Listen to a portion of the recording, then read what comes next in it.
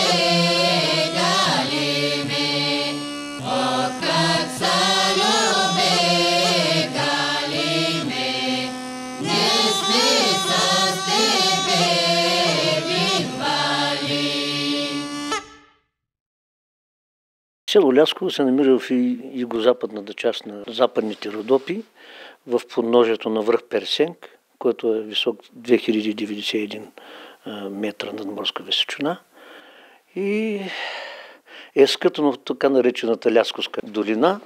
Много китно селце, разположено е покрай реката, дълго е 3 км, с много хубави, трудолюбиви хора.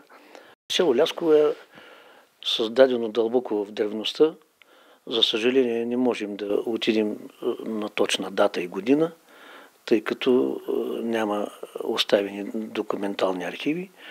Но дълбоко в древността най-напред първите заселници са били траките, след това идват славяните и тук са минавали много нашественици, които са оставили своите следи, а иначе селото е било на друго место от над язовира, но понеже е, се е виждало отдалече и представляло цел за разбойническите банди по времето на Мехмед Сенап и другите, и са се принудили да се скрият тук в това дере, за да ни, да не се вижда отдалече селото, защото четири пъти на старото място е опожарявано селото, е ограбвано и тук на това място два пъти. Всяко, всеки род си е имало имение, където му е нивата, там, там е била и колибата, къщата Демек. Но те са били на колибарски начала. Когато има трима братя, примерно, той си направи тук къща, он си направи другата къща до него, другия до него и нивите са, за това са били разпръснати. След това са, идва нуждата, за да се бранят заедно, защото те са били лесна плячка на разбойниците. Породила се нужда да се бранят, да се пазят от разбойниците и се е наложило да се съберат в едно селище, където да могат заедно да се отбраняват. Това е наложило създаването на, на, на населеното място. И къщите, които сте ги видяли, те са останали, от времето са останали такива по нивите, колиби ние им, ние им казваме, там са прикарвали по-голямата част от живота хората, защото добитъка са го гледали там, невята им са били там, уръжая там са събирал, с което са изхранвал добитъка и самото семейство. И природата ви е много красива, много забележителности имате тук. Нашите зрители днес ще видят околностите на Лясково. Ами вие видяхте, като правихме снимките, колко китни места имаме, скални масиви имаме в пещери има тук близо до Персенк, връх Персенк близо като туристическа дестинация. Така че имаме големи забележителности. Сега стана изолир Цанков камък. Така че имаме забележителност. Самата природа при нас е такава, че тя е забележителна. Чистия въздух, природата и доброто сърце на хората.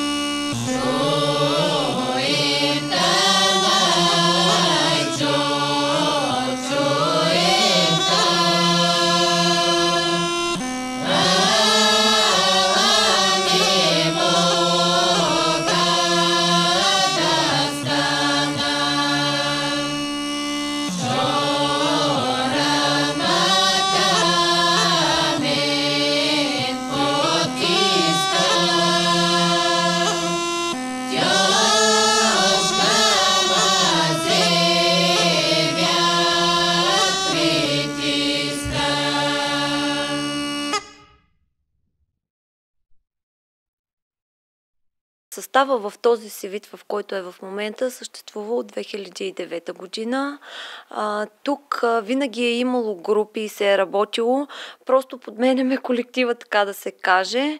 По-възрастните, които вече смятат, че не, а, не желаят да участват, дават път на младите, на техните синове, дъщери, внуци и така става приемственост между поколенията. Какъв е духа в състава? Страхотен бих казала.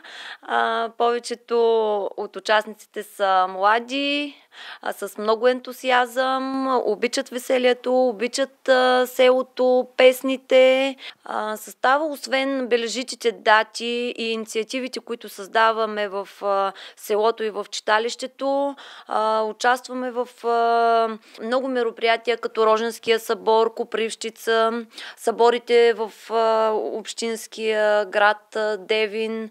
Били сме и на международно участие в Гърция.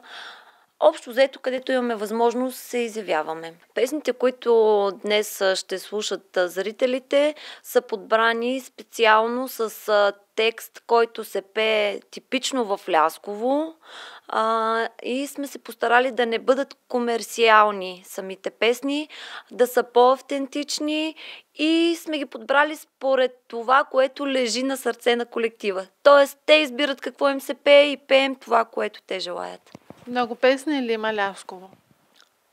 огромен репертуар, така да се каже. Тук в Лясково се пее навсякъде. От най-малкия до най-възрастния човек може да ви запее песен. Съхранявате ли по някакъв начин този песенен фолклор? А, да, съхраняваме го. Ние имаме сайт, а, разработен от читалището, където сме качили много а, заснети като аудио, видео, като текстови материал. Освен това имаме в текстови материал много песни, които сме записали от възрастни хора и се съхраняват в читалищния архив. Всичките песни отразяват част от историята на и бита на хората в Лясково, не само на лясковчани, а и в Родопите. За всяка вид дейност си има песни. Има и за работа. Една единствена, която не е свършила благополучно за Търнал Митойгио, но повечето песни са радостни, има и за мъки, има и за жетварски песни, има и сватбарски. За всеки вид ритуал, за всеки вид обичай си има песни и песните пишете историята. Аз така го, така го знам.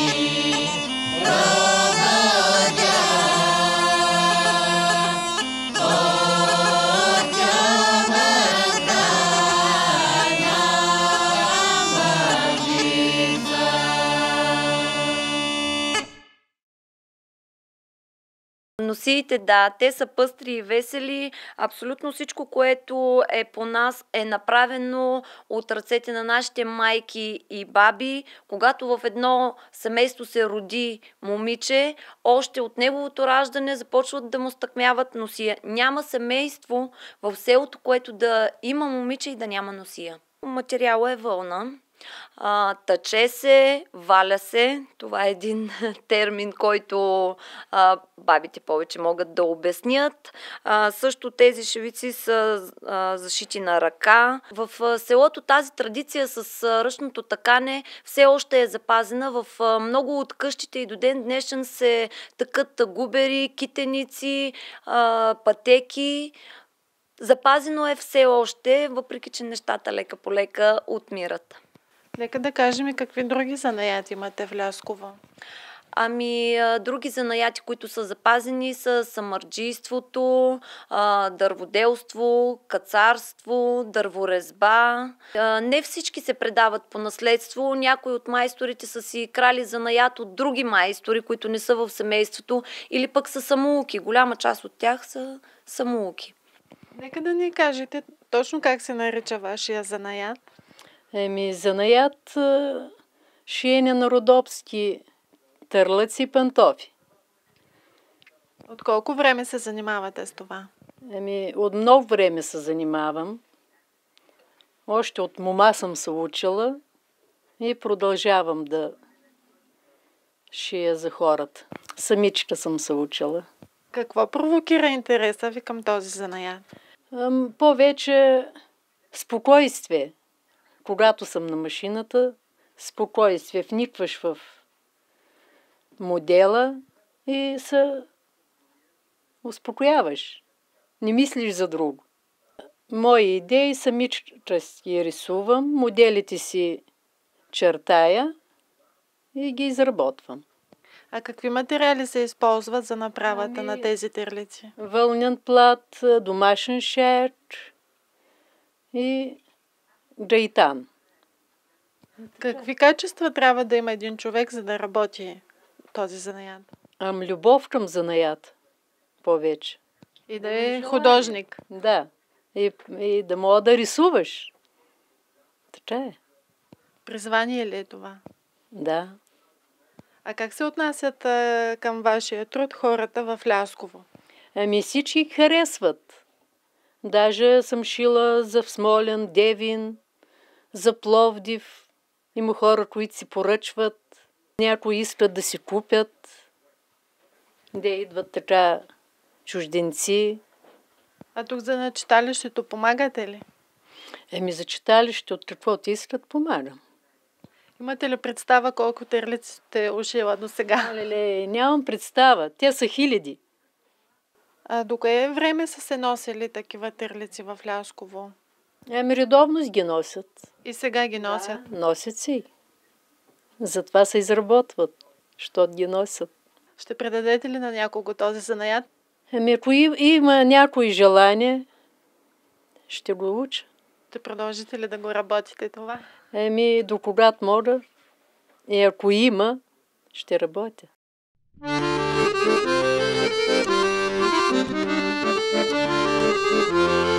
Thank you. Thank you.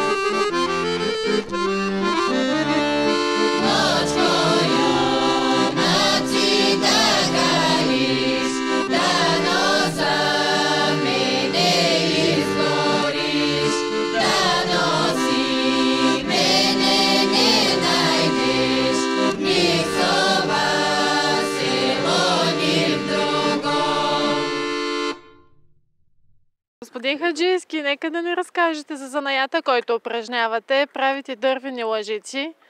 Най-напред от кого го научихте? То родителите, от дядо, от баща ми, те работиха баща ми едно време. Тук само с дървени неща се занимаваш. Трудно ли е да се освои този занаят? Какво се изисква? Желание. Преди всичко желание, другото е работа. А какво правите вие? Какъв е асортимента ви? Ми, това, което го видя, го правя. Дървени картини, лъжици, чукчета, лопатки, хаванчета, геги, икони, мутики. Ми не знам вече какво друго. Има много неща. А кое е най-трудно да се направи? Гегата е най-трудно, Защо? защото иска много работа и много внимание. Там малко изтървеш ли инструмента и се разваля дървото и после губя формата. Не става. Хайде, после наново. Все едно нищо не си правил. А какви инструменти използвате? Бе, теслата, пилата, изнимал. Това се казва изнимал. И шкурка повече. За шлайпане. Самото дърво какво е? Абе, в учебника научно се казва жешле. Иначе той е от рода на Явор. Ние го казваме тук жещели. Има ли го тук в Родопите? Имал, да. Имал. Нашия район се го има това дърво. Дървените лъжици използват ли се в днешно време все още? А търсят ги много. Да, съм направил хиляди лъжи до се. Е, това са останали, нямам повече.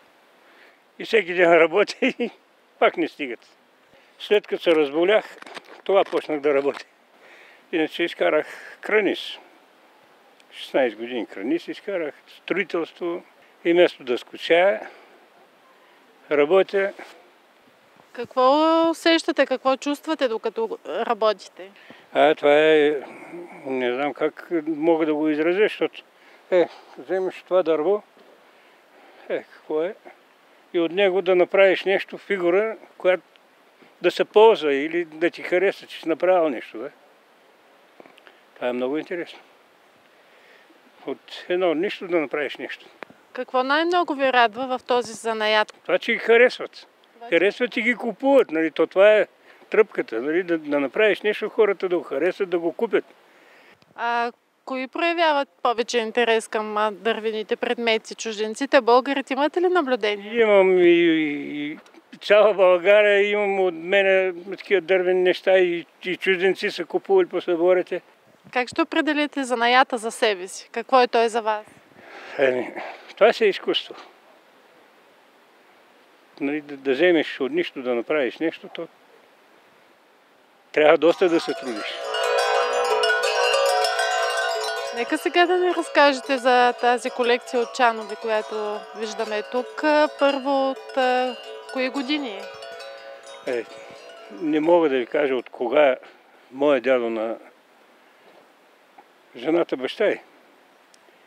Той ги е купувал, събирал преди, може би, 70-80 или 100 години, колко ги е събирал.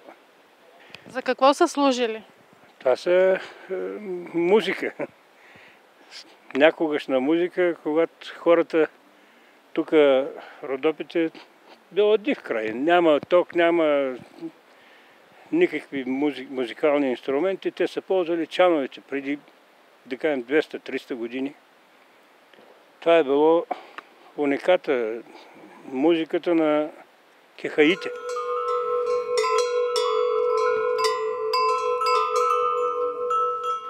Тук през зимата било много студено. Хващали по 2-3 метра сняг имал.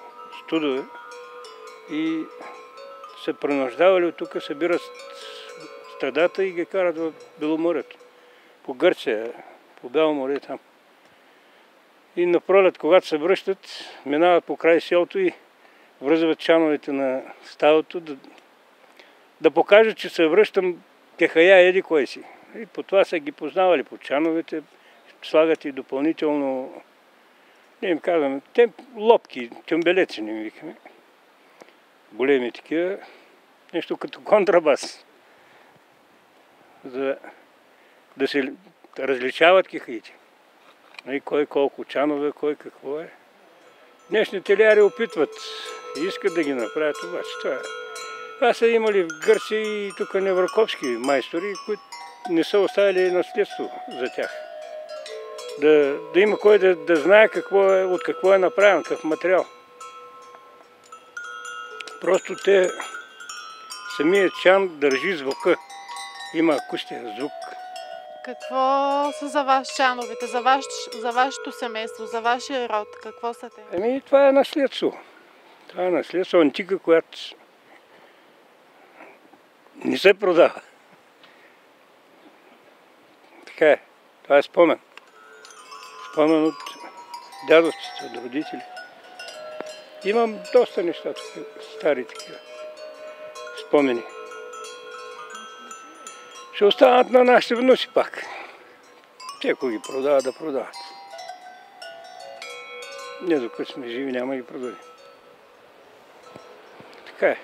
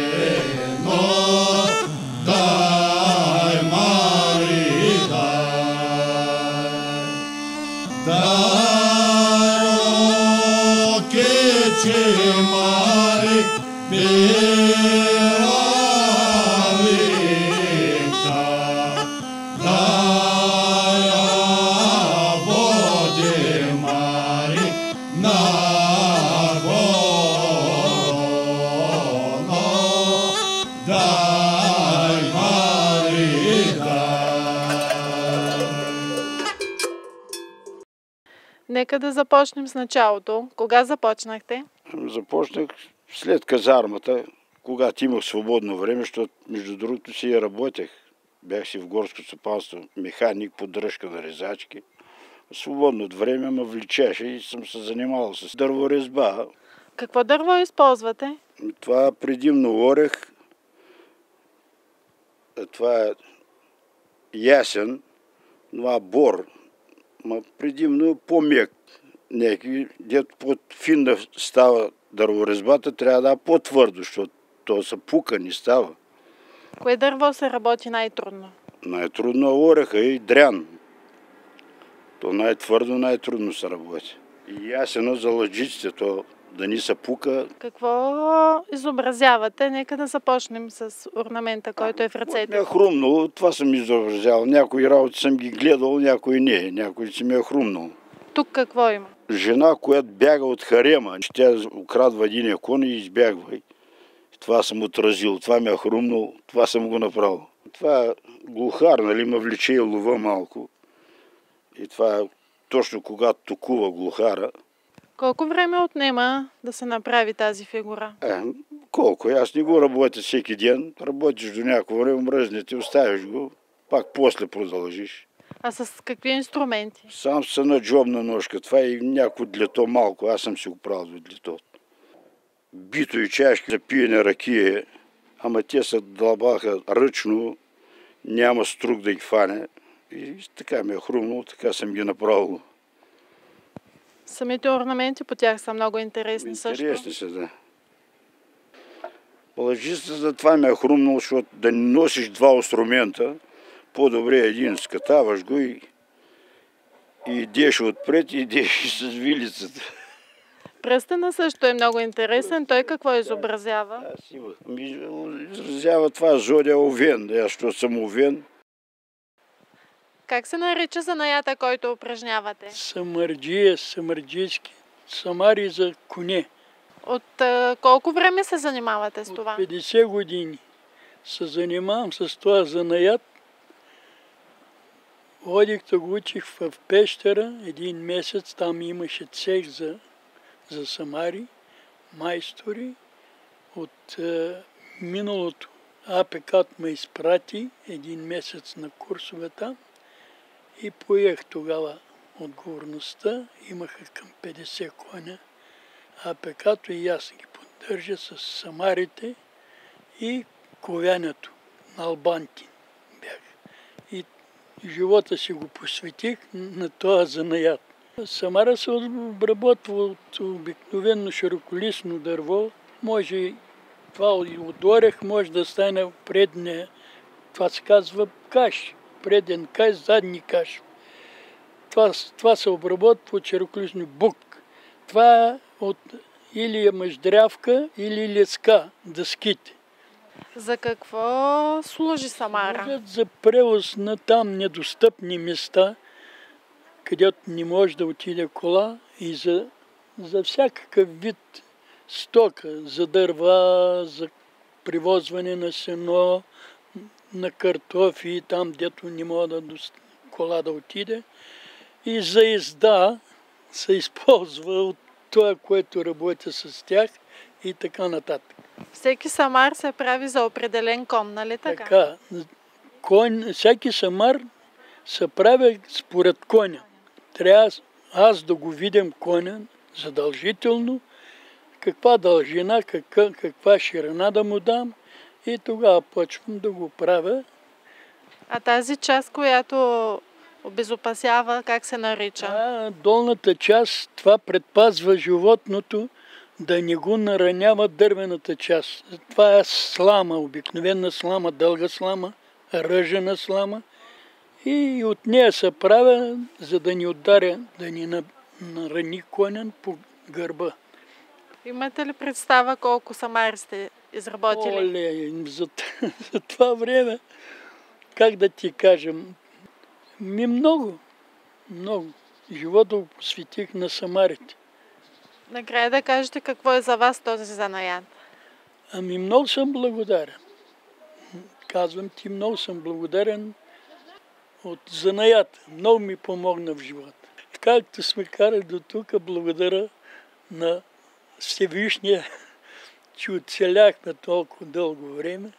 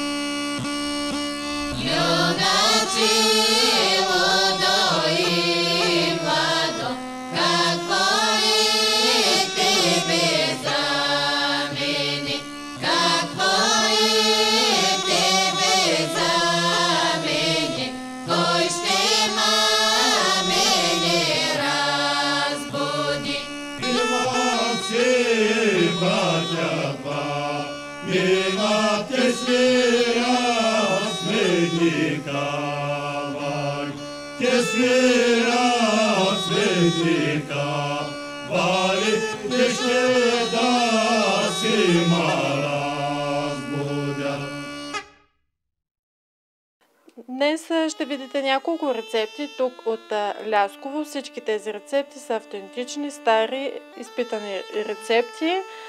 Нека да ви помоля първо да се представите, а след това и какво ще приготвите. Казвам се Славка Росянова от село Лясково и вариме каша. Какво представлява тази каша? Кашата представлява приготвено от брашно, чушки, много продукти се приготвя, стои 2-3 дни, после се изтрива с брашно и сушава се и почва да се иде. Трябва да отбележа, че това е много любопитно, което ни разказвате. Кога да ти... Отдавна сме не запомнили още от нашите майки, на какво отдавна се готвя това нещо. Всички в селото, всички имат ли така Кога се приготвя, в кой сезон? Ами есента и може и през лято, когато има слънце, по-лесно да изсъхне. В една къща, в едно семейство, колко се приготвя? А, той някакви приготвят по 5-6 тави. Те в тави приготвят, тогава сушат. Колко семейството голямо, аз пея, например, може една тавичка да сприготвя, повече не мога да ям. Да. И бързо се готви. Бързо е, вода. Какво имаме в тази тенджерка? В тенджерка има сол, и масло, и вода, и почваме да забъркваме. И това е всичко. И това е всичко. Добре, нека да видим.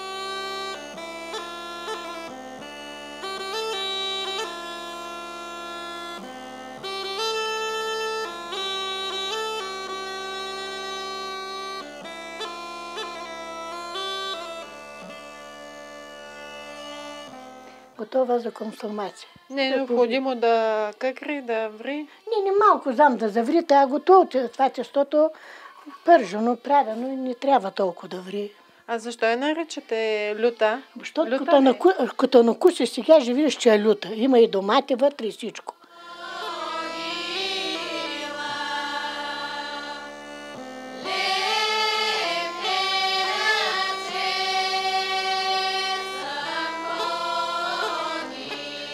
Да представите ястието, което ще направите. Какво Ястие, приготвяте? Ястието ще го представяме, казва се рогатник. разточва се листото и ориз, и яйце, и сирене се обърква и наръсва се, задиплюва се и се пече. Как приготвихте тестото? Приготвихме тестото, забърква се с водичка, с сол и брашно, измесва се и после се точи а оставате ли тестото да престои не, преди да го разточите? Не, не, не, не ставам тестото да престоява. Така, сега какво следва да направим? Сега следва да направим, да наръсме тестото и да го загънем и ще го сложим да се пече. Къде ще го печете? Тавата ще го печем. Добре, нека да видим как ще стане.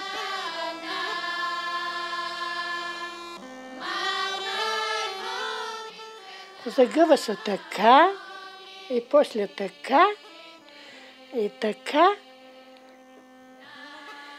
и се изсипва там, изсипва се там в тавата да се пече. И така. Откъде знаете тази рецепта? От нашите баби, старите баби, майките и бабите и ние сме ги научили. А често ли се приготвяте по този начин? Да, по този начин се приготвят тук. Рогатниците по този начин се приготвят.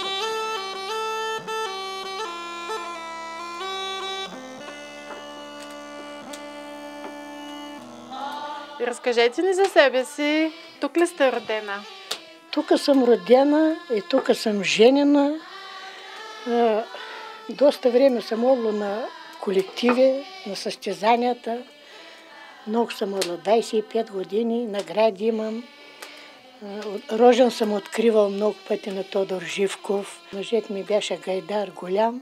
С него сме ходили редовно. Колко песни знаете? О, миличка, миличка, колко песни знам, брой си нямат. Има ли в рода млади хора, които продължават Имам един традициите? внук, Росен се казва Росенов, продължава да свири с група На какво свири? на гайда.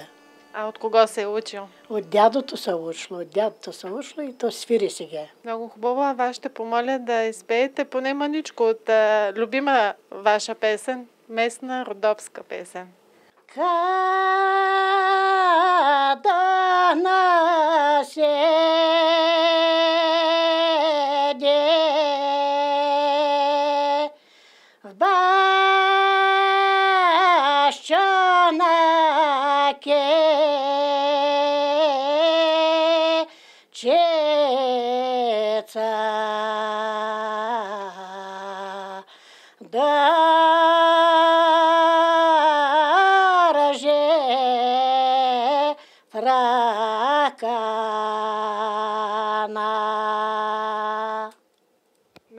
благодаря. Нека сега да видим рогатника дали е готов. Готов е, готов е.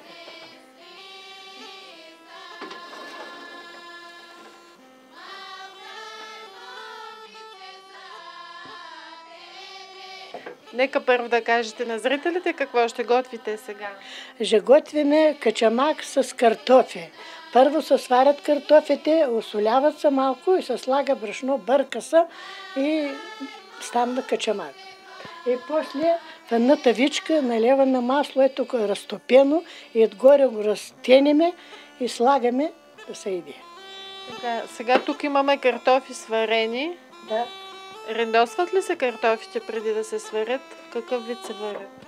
Не, както искаш, може и да ги смачкаш, може и да ги с ренде да ги на- натриеш. Тези как са? Да. Правени? Правим ги, както свариме картофите и намачкваме ги и вред малко и слагаме брашното и бъркаме, докато стане често. Често за качамак. Какво е важно при качамака? Трябва да се бърка постоянно, така Трябва да се бърка, да може да се увари. Да не останат картофите недоварити и да стане суров. Иначе останеш ли да не бъркаш, става суров качамак. По другите места правят качамака с а, царевично брашно, а тук го правите с а, пшенично. С картофи качамак правиме с пшеничен. А инака качамака, детко, на с царевично, да. Път ние тук го правиме с пшеничен. Тази рецепта колко е стара? От кога я знаете? Давна старо, нашите прабаби я знаеме. И ние така сме запомнили и така правим. Е. На времето често ли сте си правили качамак? Да, често сме правили, защото поне имаше хляб и картофи, имаше и брашно, в руска чамак сме живели. Да. Инак... Е, като почне така сега да се отлапе, гледа от тенджерата как се отлапе, значи почнало да се сварява и готов е. е. Е така слагаме масло. Не много, защото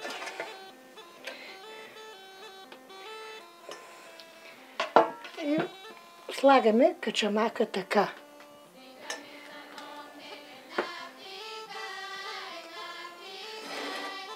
Сега взимаме това тегана, е така го размачкваме.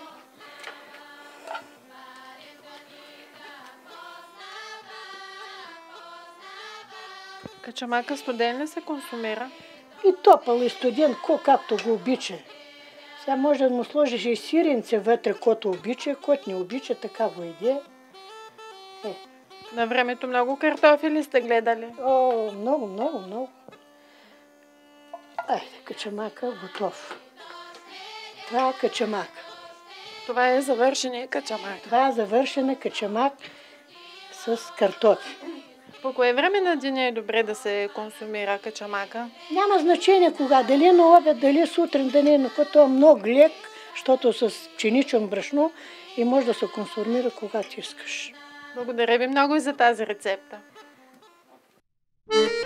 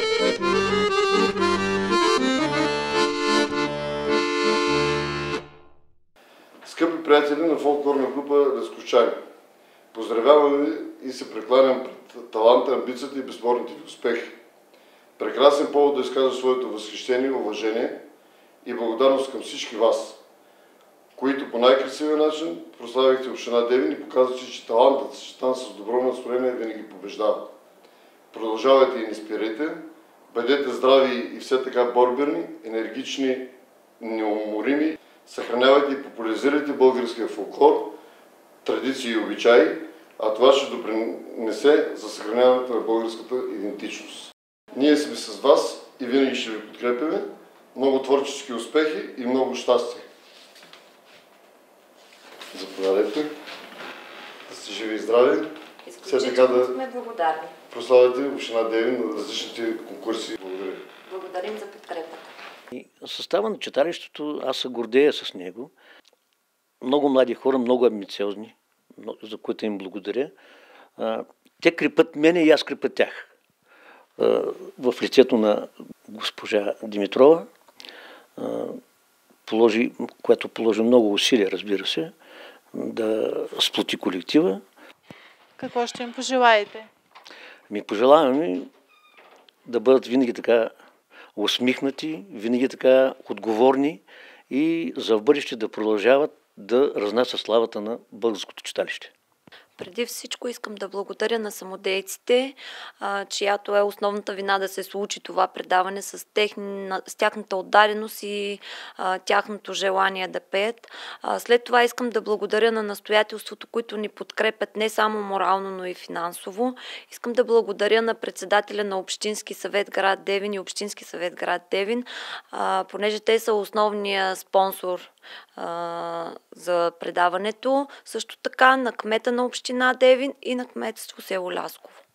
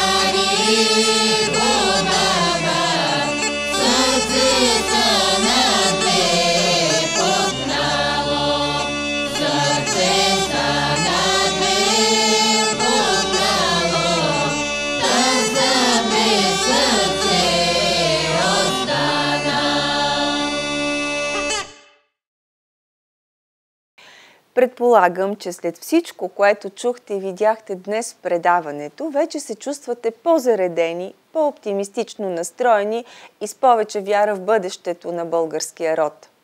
Защото докато има хора като тези, които екипът ни срещна в село Лясково, ще го има българския фолклор, ще има и България, такава каквато трябва да бъде. От името на колегите благодаря на всички в Лясково за гостоприемството и топлото отношение и най-вече за усилията им, които полагат за съхраняване и популяризиране на местния фолклор. С това приключва фолклорна трапеза за днес, скъпи телевизионни зрители и приятели. Ще се видим отново следващата седмица, когато всички музикални изпълнения в предаването ще бъдат обединени тематично – във всички тях ще става дума за трудовите дейности за прехрана, храната и храненето на българина. Очаквайте ни! За днес довиждане!